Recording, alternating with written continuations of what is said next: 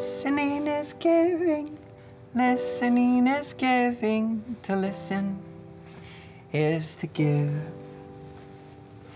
Listening is giving. Listening is giving. To listen is to give. And when you listen with your eyes, you see. When you listen with your ears, you hear. When you listen with your body, you fly. When you listen with your heart, you love. Oh, listening is giving, listening is giving. To listen is to give. Hi, friends. How do you feel today? I feel grateful to be together again in the Barn studio. And we have an exciting day ahead of us. Later, we will have our big, big concert at the Nature Center. And right now, I have a surprise for you. Did you notice something colorful as I walked into the Barn studio today? Let's see what there is to see in the satchel.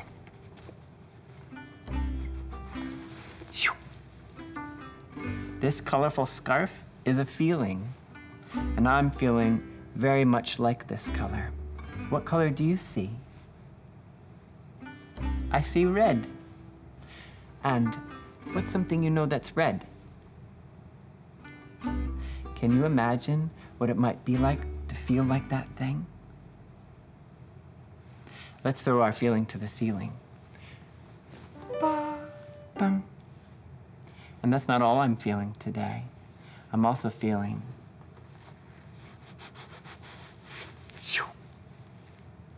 green. I'm feeling very green. And what's something that you know that's green?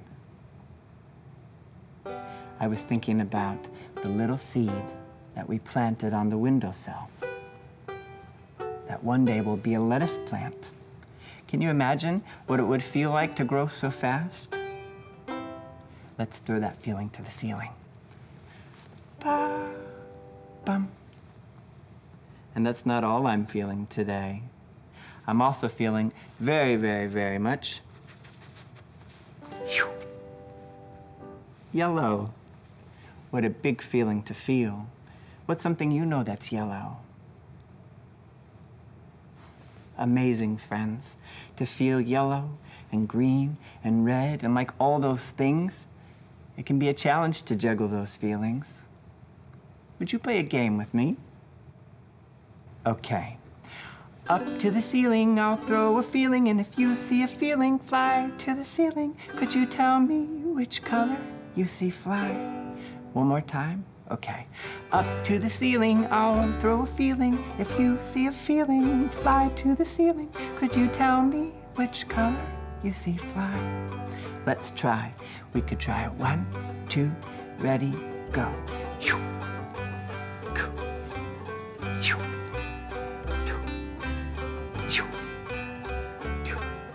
And a little bit faster, we'll go.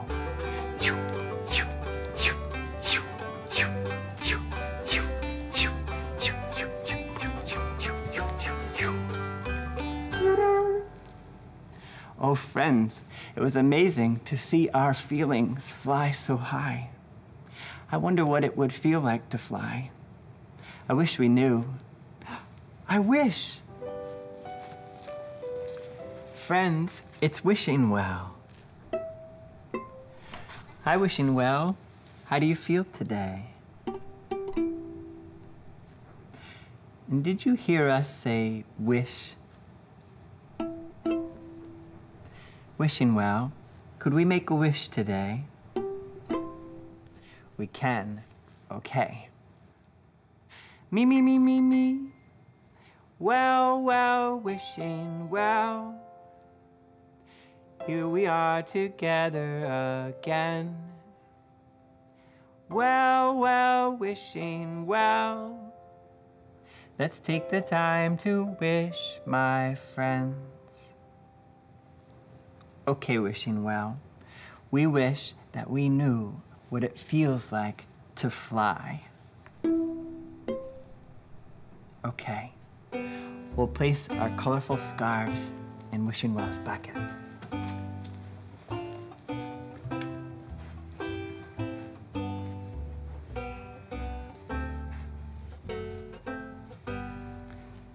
Can sing our wishing song. We could sing something like, Me, me, me, me, me, me. We wish, we wish, we wish, we wish, we wish. We wish, we wish, we wish, we wish, we wish. What's this wishing well? Letters? Wishing well. Is this a clue? It is a clue. I wonder if these letters spell a word. This feels like a riddle, and one that we could explore with the space on our felt board. Come on, let's go. Okay. I W D N. I W D N. Is this a word you recognize? Perhaps we could rearrange the letters until we see a word we recognize.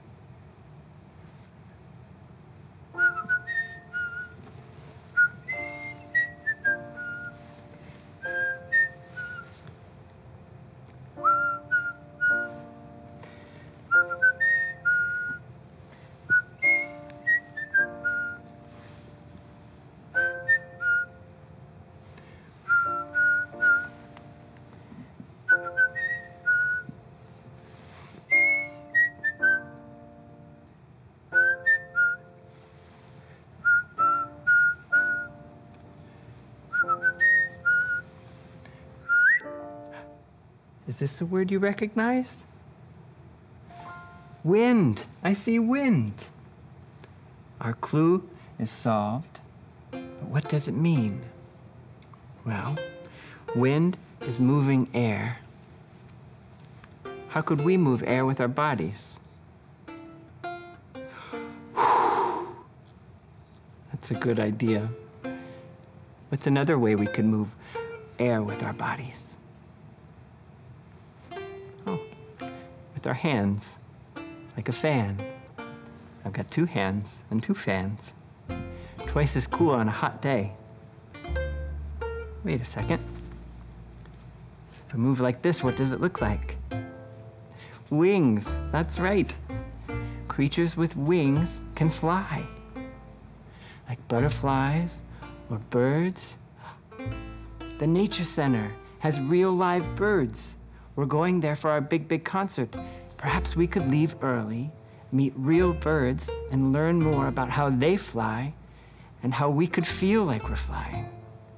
Friends, would you like to fly with me? All right, let's go.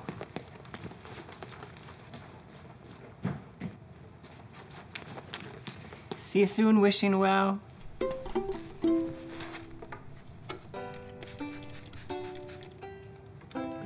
See you soon, little seed. Let's go.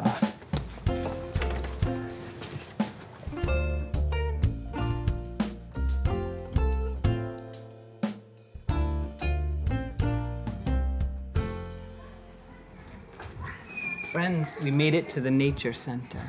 A nature center is a place where people come together to support the land, all that grows from the land, and the animals supported by the land.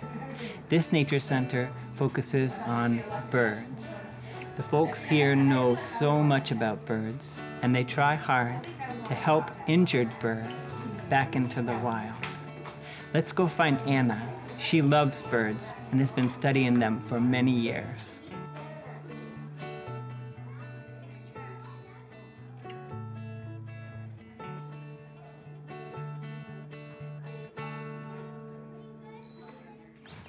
Friends, I think I see Anna and a new friend.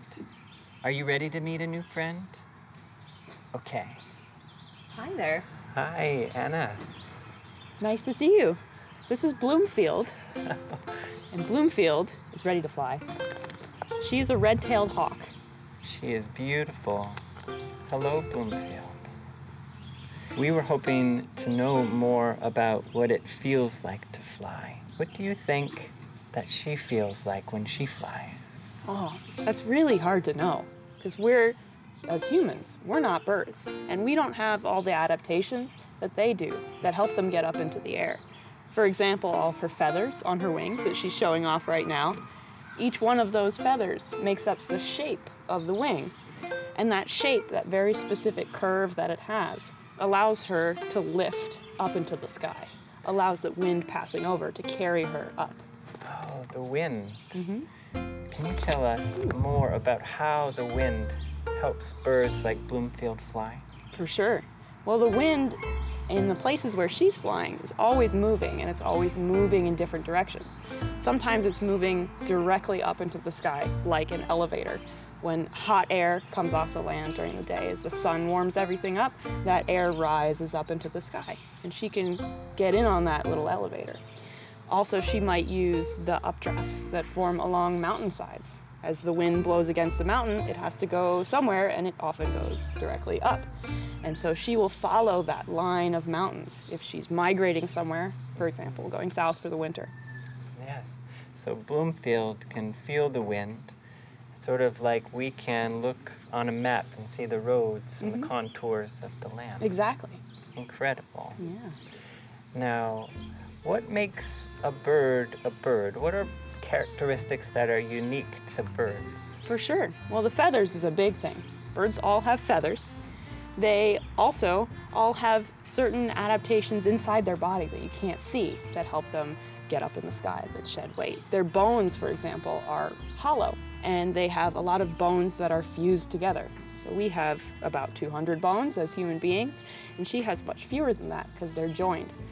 Also, she's got a big bone that protrudes directly out of her chest like this. It's called a keel, like a like the keel on a ship.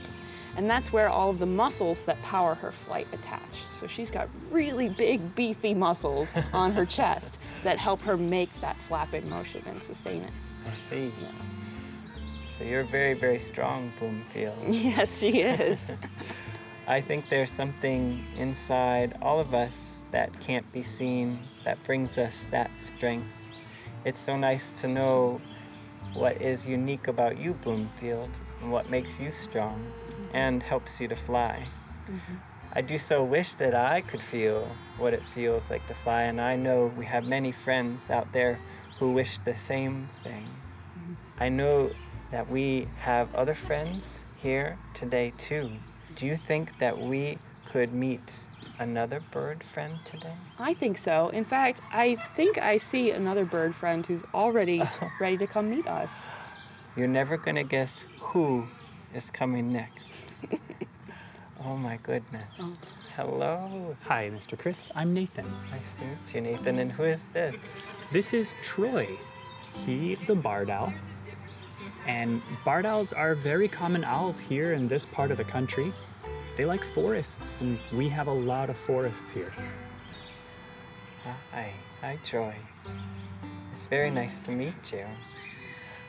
I know that uh, uh, many, many kiddos are very fascinated by owls, the sounds they make, and also this peculiar thing you can see Troy doing, how far Troy can turn his head.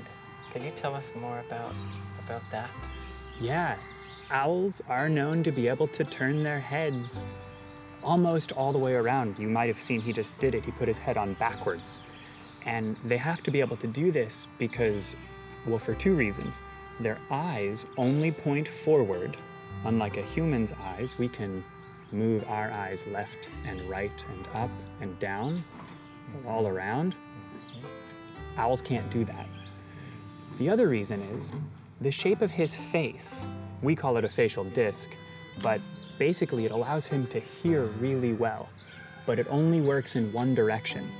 And the way that we talk about it in terms of humans is if we cup our hands and put them behind our ears and we give a listen, everything in front of us becomes a little louder, but only the stuff in front of us. So he wants to be able to point that facial disc everywhere. So he can rotate his neck almost all the way around. Oh, that's fascinating. We could pretend to be owls for a moment. We could create our facial discs, cup our ears, turn our heads around, and listen to what's around us. I just heard a black-capped chickadee. There are so many different types of birds here at the Nature Center. Uh, some who are flying on their own, and then some who have come here because they've been injured. Is that right? Yes, that is. And Troy was actually one of those birds long ago. He has a left eye that doesn't see very well at all. So we take care of him because of that reason. hmm So he has found a home here Yeah. amongst friends. Mhm. It's amazing how you can find friends in the most uh, unsuspecting places. I love surprises. I love to meet new friends. And I see another new friend coming this way. I don't think I've ever seen a bird quite like this up close. Thank you, Nathan. My pleasure. You'd be very lucky to see a bird like this up close because they spend a lot of time really, really high up in the air. Mm. This is Hawaii, and Hawaii is a peregrine falcon. How fast can a peregrine falcon fly? They've been measured at over 240 miles an hour, which is hard to imagine. That's faster than most cars can go, even the fastest racing cars. That's incredible. And they've got a lot of things that help them survive going that fast. Because I find it amazing. You know, if you've ever stuck your head out of a car window when it's going really fast, it's hard to breathe. Yeah. But they have a little extra bone in their nose that helps break up the flow of air. They also have an extra membrane, like another eyelid, that covers their eyes so that their eyes don't dry out when they're traveling that quickly. Oh my goodness. Mm-hmm.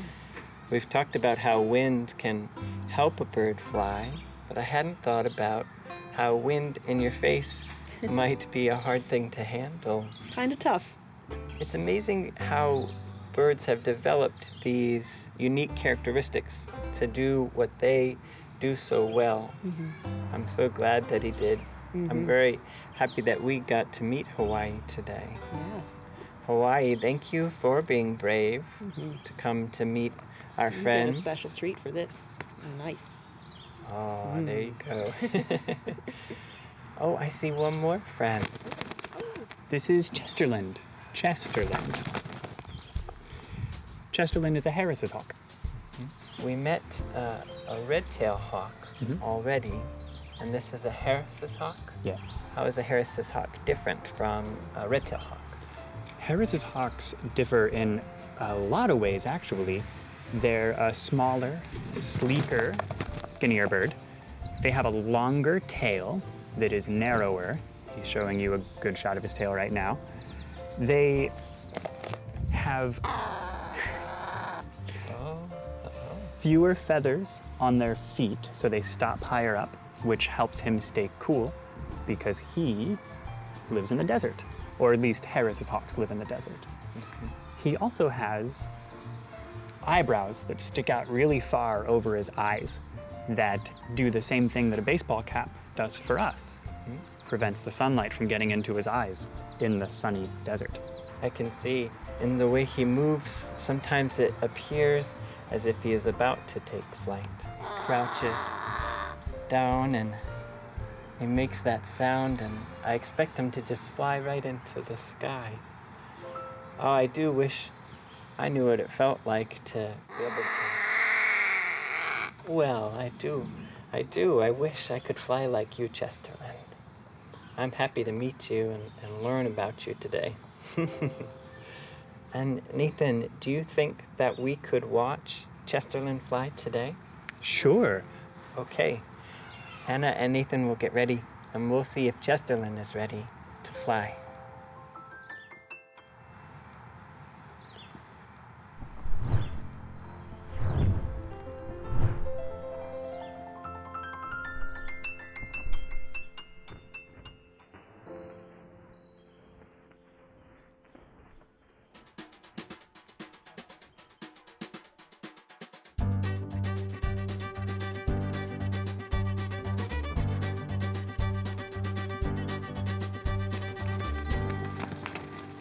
Nicole, Mr. Chris, where are you flying off to? I'm flying to check in with kiddos and talk about birds.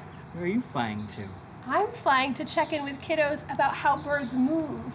Wonderful. Will I see you at the Big Big concert later? See you then. Okay. Have you guys seen some birds today? Yeah. You have? You've seen one? Yay! Over there. Over there. What kind of bird did you see today? An eagle. Hi, Leo. Are you having fun at the Nature Center today? Yeah. What does a bird look like? What? It's has like a sh- um an oval shaped um body and, and it has like jet wings. It looks like jet wings. Uh, like this? Uh huh. What do you think it would feel like to fly? Have you ever wished that you could fly? Yes. To see more things that the human eye can't see. If you could fly, would would you? Yeah. Yeah. Where would you fly to? Maine. Maine? Yeah.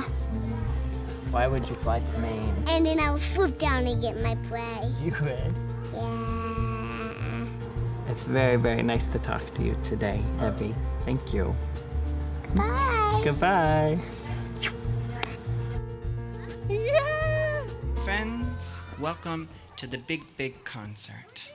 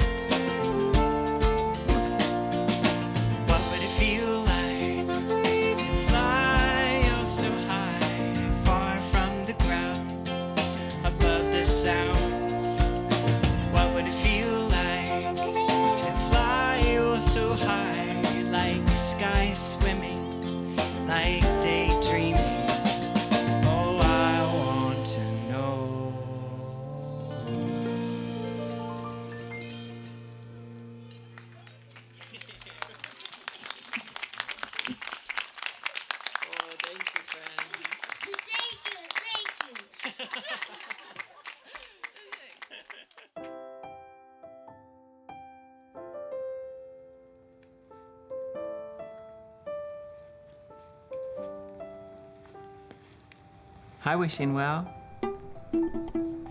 Oh, wishing well. We met so many birds today. All of the birds had something in common, the same.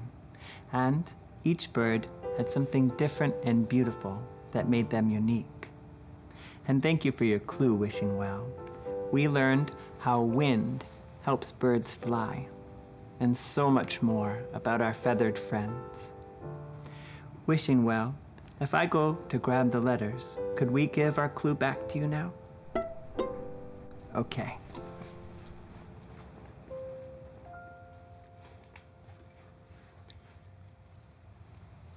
And we can sing. Me, me, me, me, me, me. We wished, we wished, we wished, we wished, we wished. We wished and made our wish come true. What's this wishing well? A memory. A little feather. Thank you, wishing well. And we'll see you next time, wishing well. Deal.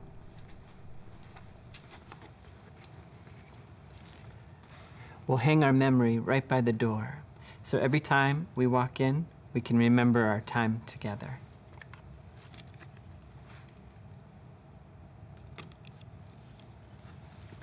And it won't be long until we see each other again. Well, I love singing goodbye. Let me tell you why. For every time we sing goodbye, it means it won't be long until we sing hello again. So until then, friends, goodbye. See you later. Goodbye. Farewell. Goodbye.